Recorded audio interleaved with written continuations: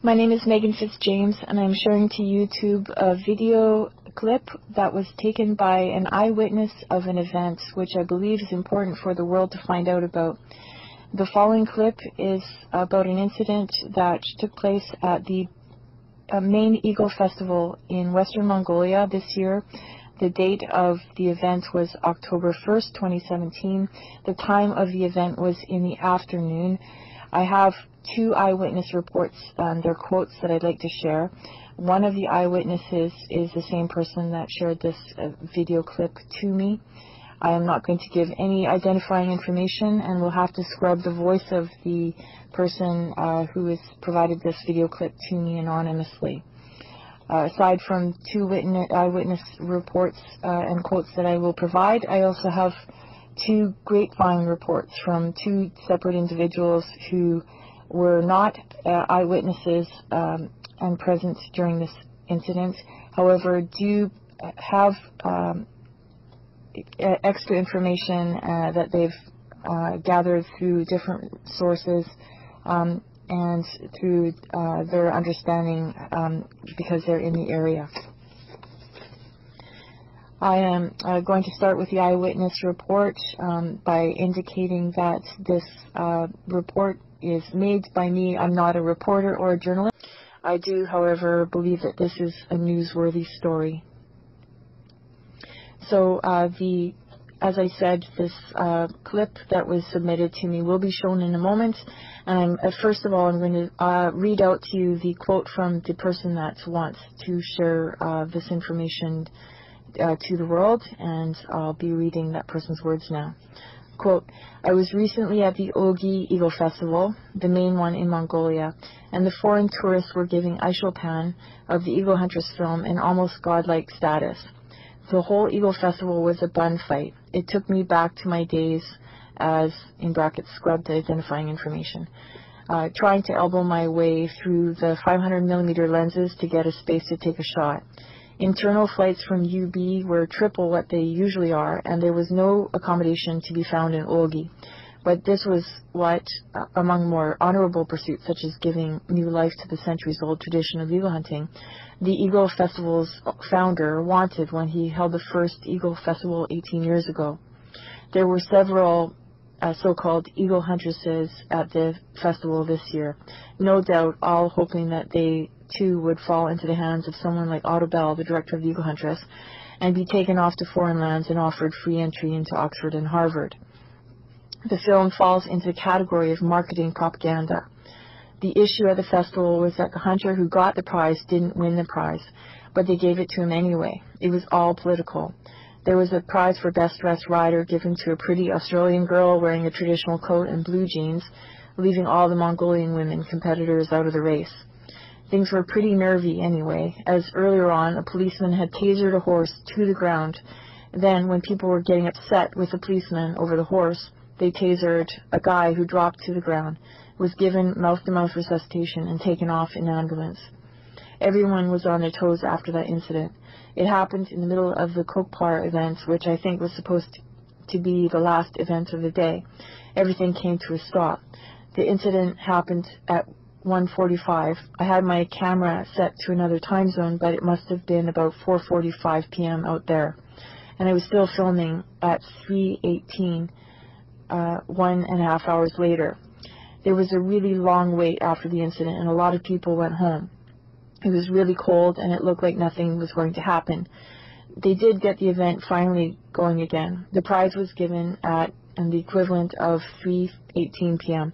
And that was when a whole bunch of disgruntled eagle hunters rushed the prize giving, and all hell broke loose with police dogs, policemen, and general mayhem.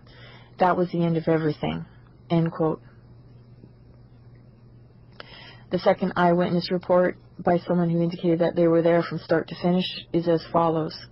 This person also wishes complete anonymity. Quote, there were some problems with the organizers on or during the tug of war uh, on horseback Kokpar game, the judges wanted only the players in the center. So police warned the people to leave the players only, but the people didn't get out of the center. And silly police electroshocked one horse. The horse fell down on its rider. ambulance guy came and the guy was unconscious and everybody was against police because of what happened. And the other reason the hunters were unhappy was that they got half of what they were told they would get from the organizers and they were angry and I don't know who the electroshocked guy was. There aren't any reports on this on the news. Of course, as always, judges may have played on or with the results of the eagle hunting hunters. And at the end, almost all of the eagle hunters were drunk, and they had been paid only half of what the Eagle Hunters Association had promised. That made all the eagle hunters aggressive, and they were already drunk. And because of the police electroshocked the horse, they had to cancel the game. We want, uh, we want to avoid that happening again. And then I scrubbed the identifying information. End quote. As you will uh, have noticed that there are slight differences in the two eyewitness reports.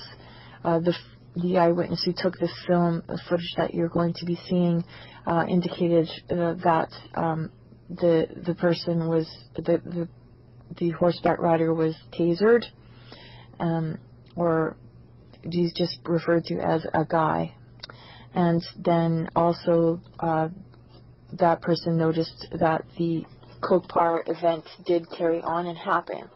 The second eyewitness uh, indicated that the uh, the uh, the guy who was unconscious was actually um, unconscious because he fell down from uh, and fell under the horse. Um, he also noted the the he was also noted to have um, been unconscious. Um, however, that um, eyewitness indicated that they had to cancel the Kokpar game. I'm going to be um, including two further reports uh, to give further context to um, this the, the, film footage that you're about to see. The first report is from someone who was also not an who was not an eyewitness, um, who said the following: "I heard that the guy was tasered." I know that he was fine after the medical people helped him. It's true that some guys were arrested at the festival site and brought to the police station. I learned that they were released after a few hours and were given a fine the next day. I don't know the amount of the fine, end quote. The second uh, grapevine report from someone who also was not there uh, provides some further context. Quote, I wasn't there when the fighting and the tasering event happened. What I heard was that there was a dispute between some established traditional eagle hunters and the official who is the head of the Eagle Hunters Association for the main festival. The traditional hunters were disputing the way the festival was being run, and they felt that they were not being given due credit as real eagle hunters, as opposed to showman hunters. Also, there was some dispute over male eagles being used as they are smaller and faster and therefore better at competitions. Apparently, one of the real eagle, uh, hunting eagles swooped down during the contest and killed one of the falcons. Uh, so it seems uh, that an increasing number of eagles participating are just um, taken and trained, uh, taken from the nest and trained for the festival itself, rather than real eagle hunting eagles, which is another thing that traditional hunters were angry about. I think probably another dispute is the not prize money going to those showman eagle hunters who the traditional eagle hunter guys don't think deserve to be winning. Um, end quote. Um, just to add a little bit further um, information for anybody who wishes to look into this, the uh, there's readily findable evidence-based writings that serve to bolster the viability of the observation of that person. So the an example article is Eagle Festival um, highlights Kazakh culture in Mongolia, which is an article dated 2010. And there are two research articles. One is entitled Altai Kazakh Falconry as Heritage Tourism, the, Eagle, the Golden Eagle Festivals of Western Mongolia uh, by Takuya Soma and Battulga Sukhee, dated 2014. And When the Hunt is Over, Culture and Conservation in Kazakh Eagle Falconry by Nolan Ebner, dated 2016. Please note I will be putting all of the quotes of these two eyewitnesses and two grapevine uh, reporters um, in writing and into the description section of this video. Now here's the clip, uh, and please watch. I, I will be uh, lowering the sound on any identifying uh, voices that are heard within the, the video itself. Here we go.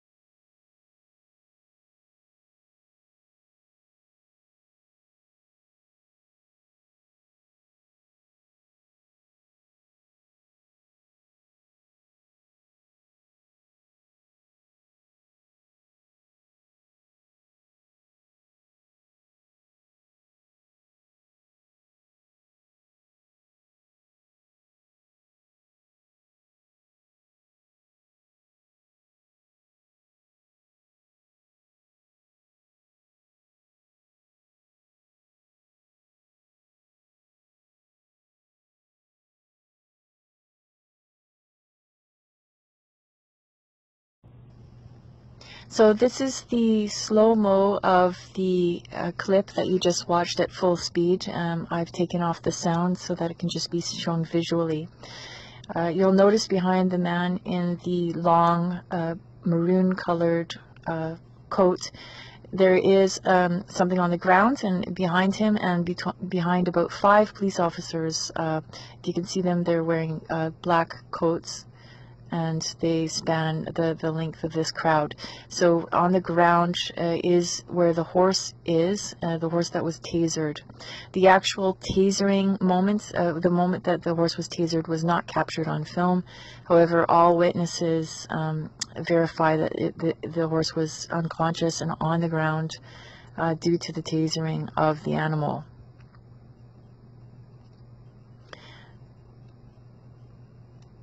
My understanding is that the horse's orientation is so that it is uh, the rear end of the horse is on the left, uh, the right hand side near the mid center of the picture. I'm not sure if people can see that very clearly. The horse appears to be a lighter colored animal. You can see some of the younger people uh, behind the policemen are more um, actively upset and, and confronting uh, the policemen that were, were uh, over the horse. Other people are uh, sitting on their horses and watching um, quietly. The, the, eagle hunters that are present there are, are, do not have their eagles with them at that time, and they're just watching quietly and calmly what is going on.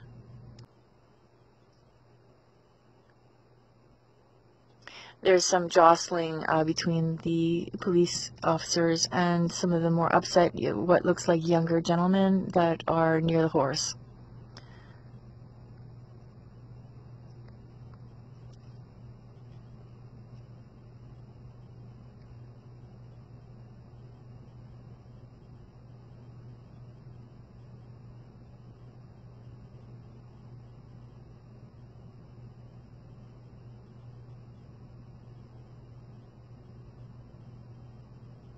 You'll notice now uh, the man is being taken off to the left side of the screen there. In a moment you'll see that that person is unconscious and is uh, going to be laid down on the ground and be receiving mouth-to-mouth -mouth resuscitation from one of the people at the festival there. The camera isn't moving over to that yet and it's just moving over now. Now you'll see on the ground that that's where the unconscious gentleman is. He's receiving mouth-to-mouth resuscitation from the man who has a gray-colored jacket on.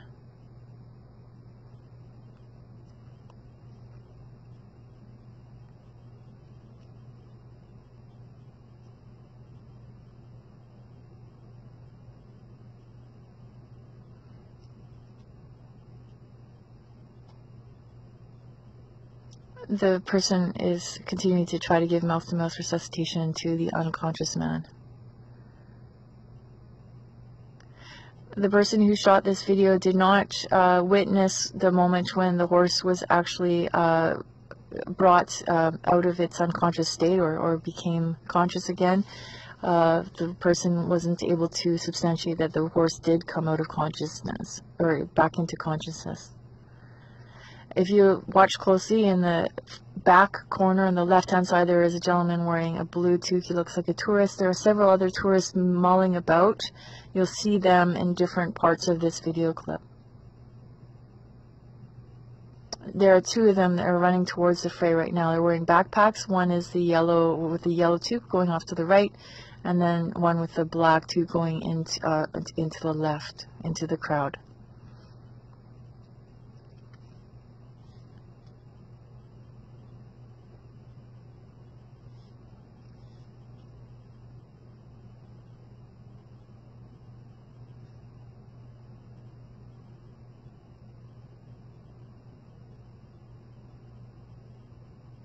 Now you see a bunch of people that are living, there's a stretcher in one of the person's hands. I'm not sure where that's going, but the, all the people in this part of the clip are running not away from something, but rather towards the stage where the um, the eagle hunters have also uh, been riding their horses towards the stage. And you'll see this animal here, the dun-colored horse.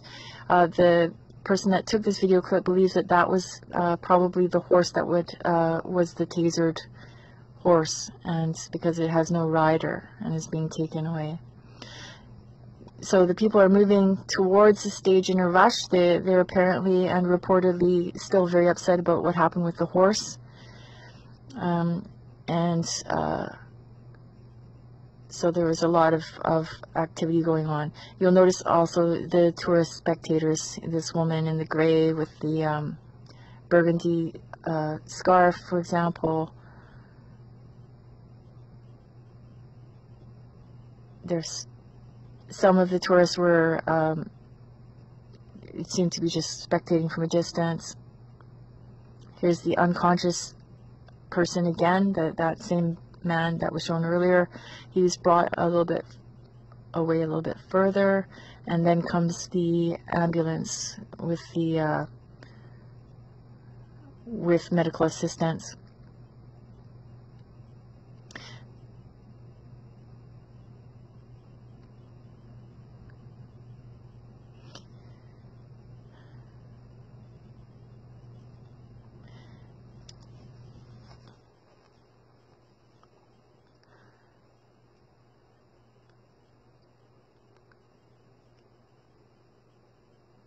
So they're just lifting the man into the ambulance at this point. It looks like he may be conscious, uh, given that his head isn't flopping around and as though he were unconscious. So he's put into the ambulance, but he evidently didn't have any um, motion in the rest of his body when he's lifted into the ambulance. There then we're getting two people, two or three people enter into the ambulance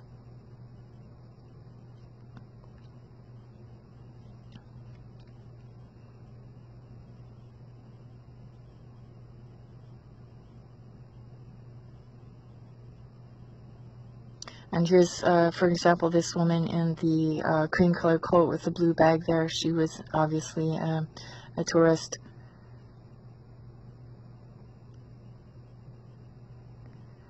Some of the locals do wear Western clothing, so it is a little bit difficult to distinguish which are locals and which are tourists. However, um, I'm assuming that the people with telephoto lenses and backpacks are more identifiable as tourists.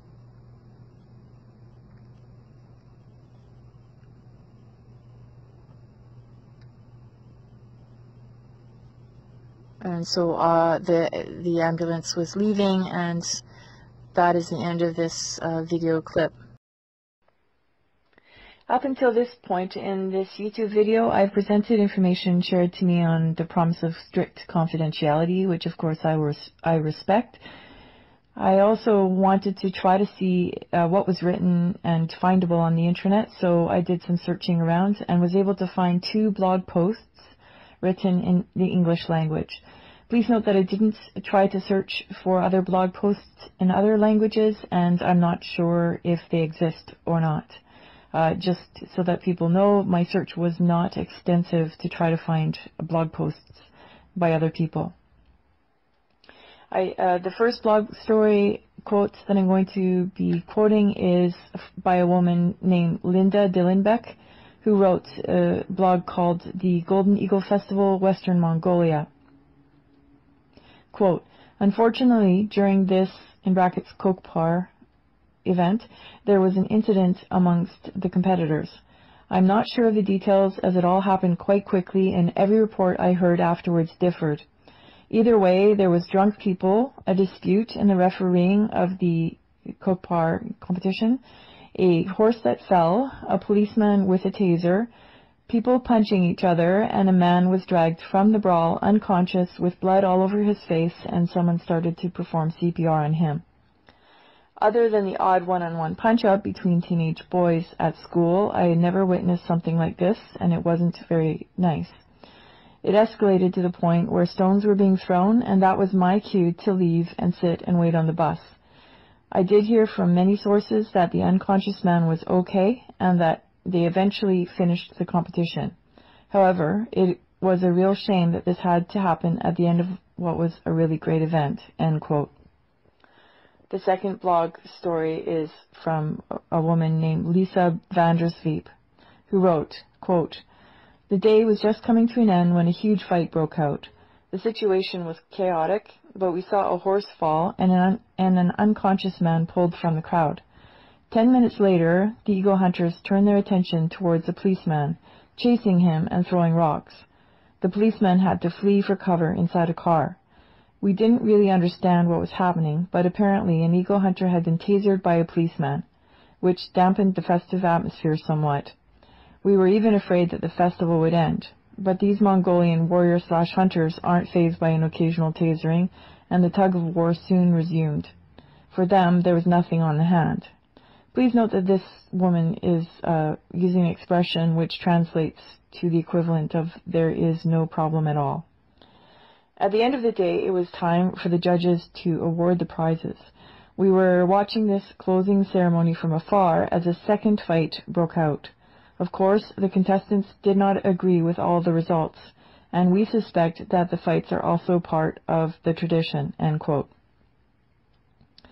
Please note that these two women who wrote their blog posts were alerted that I would use their quotes on in this YouTube video, but I did not receive and or wait for their response as uh, as to what they felt about that. Therefore, please, I ask that you kindly not flood them with contact. And uh, if you were to contact them, please point them to this video so that they know that their witnessing statements were only used to uh, illustrate different points of view. I'd also like to comment that in terms of the perception that this event was in any way a part of the tradition, that is categorically not the case, uh, from my understanding from multiple sources, local and foreign, who are more aware of the uh, tradition. Also, the idea that the uh, hunters were not fazed by the uh, event, uh, that is, of course, um, something that bears further investigation. Um, from my understanding, some people are very, very upset about this incident. I'd also like to note that this, the violence that did happen at this festival is considered highly unusual and highly unprecedented in terms of an incident. In the course of my research, I secured the first name of the six judges at the Eagle Festival, and I'll share them with you in writing as well because I'm not sure if I'm pronouncing their names correctly. They are Alpes Bai, Huat, Shinai, Huangan, Kenshulik, and Kizilbai. As is typical in the region, many people are readily findable and identifiable by first name and role without the need to also find their last names. I also found out the name of the young eagle hunter who reportedly started the so-called second fight at the Eagle Festival, which occurred uh, reportedly after the awards ceremony. I was told that the young man was reacting in anger over how the awards were allotted and that his eagle performed very well at the festival. This was in the opinion of an eagle hunter whose identity will be withheld here, and I will also withhold the young man's name out of respect for his privacy and also because I've not gathered his own subjective point of view to say anything further with confidence. In order to attempt some balance in reporting, I tried to find out what the festival organizers were thinking and promoting in terms of what happened at the festival. And as a starting point, I first found out about the man who founded the nonprofit Golden Eagle Hunters Association, in brackets the Bearcats Association, and the Eagle Festival itself. His name is Jalsa Urubshurow, and his name spelled J-A-L-S-A, last name spelled U-R-U-B-S-H-U-R-O-W. He is reportedly a Mongolian American entrepreneur and he's the president and CEO of Nomadic Expeditions, which is based in Jamesburg, New, New Jersey, and is intimately connected with the festival as, as its main tour operator um, with the festival. Reportedly, after 1990, the first democratically elected prime minister personally recruited Mr. Urubshurow to advise the government on expanding accessibility to Mongolia to Western travelers. This led to the creation of nomadic expedition, eh, expeditions, which operates not only in Mongolia but also in Tibet, Bhutan, Siberia, and China. Nomadic Expeditions has received praise by the Mongolian Tourism Association as the country's best tour operator. Mr. Urubshurow is has run businesses in Mongolia and the United States over the last two decades and is also the co-founder of the North American Mongolia Business Council and spent uh, reportedly a significant amount of time as chairman with an interest in Mongolia's dem democratization, democratization rather, and economic reforms that would establish a free market. His business savvy, coupled with his extensive exper exper expertise on Mongolia, has earned him two mentions by Condé Nast Traveler magazine as the world's top travel specialist for Mongolia, and his awards have included a Responsible Tourism Honoree Award by the Educational Travel Consortium. In a YouTube video entitled "Promoting Tourism to Con to Conserve Mongolian Wild," uh, in brackets, I am Echo Warrior. Uh, Mr. Jalsa note, uh, Urubshurow noted the following, quote, I tell people we are a conservation organization disguised as a tour operator, end quote. I decided to look at the Facebook page for Nomadic Expeditions to see what was said about this incident at the Eagle Festival. While I found Aisholpan Nurgaiv of the Eagle Huntress uh, uh, documentary to be clearly celebrated in connection with Eagle Festival, and that's yearly since her reported win at the festival in 2014, as captured in, in the film itself by Otto Bell. There was not one Facebook post that mentioned anything about this horse and man tasering incident or about the disputes over payment and fairness to the eagle hunters, be they real or showman types, or about the award determinations, or about the drunkenness amongst some attendees, or about the counterattacks on policemen over the tasering incident, or about the related fighting and mayhem that with police dogs present and so on. Instead, all I found was photos and captions that suggested nothing untoward happened whatsoever. I also noticed that the governor of the Bayan Olgii province, a man by the name of A. Uh, Gilim Khan, spelled G-I-L-I-M K-H-A-N, was at the festival award ceremony that took place before the second fight broke out. I found a photo on the webs on the Facebook page for Nomadic Expeditions, um, and I also researched to see if I could find a photo of the governor to see if that was indeed the person standing beside uh, Jalsa Urubshurow. And indeed, the photograph did match up, and the two of them are shown uh, standing beside the winner of the festival who's on horseback holding his trophy aloft while they smile for the camera.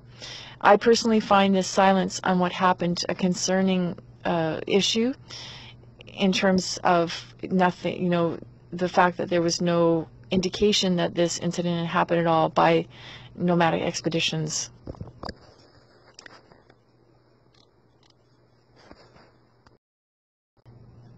Um, as a closing statement, I'd like uh, viewers to understand that this story has never been reported in Mongolian news in any sh way, shape, or form, nor has this uh, incident uh, been reported in any news form whatsoever.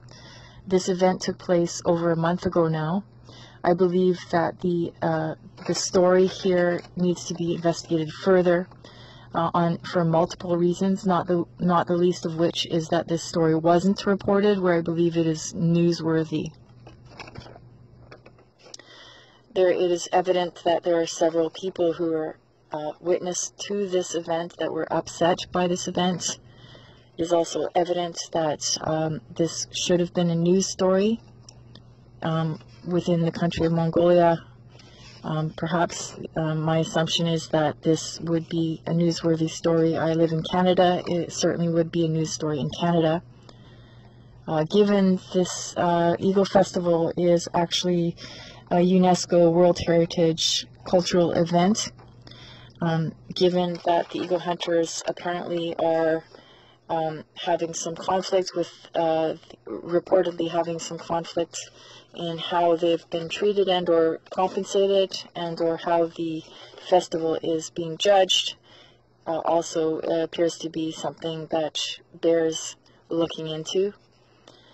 And uh, of course the issue of um, the tasering of the horse um, as some sort of method of um, addressing what is what was a human uh, caused um, interaction. It seems that also that might be something of interest and or should be followed up with as well.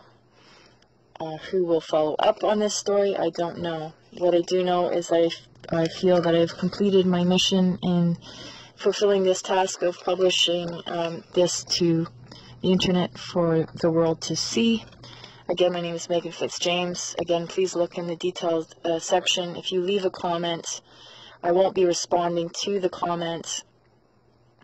Um, I will, however, respond to any bona fide news reporter from a bona fide news organization who wishes contact with me. Any uh, reporter of that description is welcome to leave their contact information um, in the comment section of this video. Thank you for your time.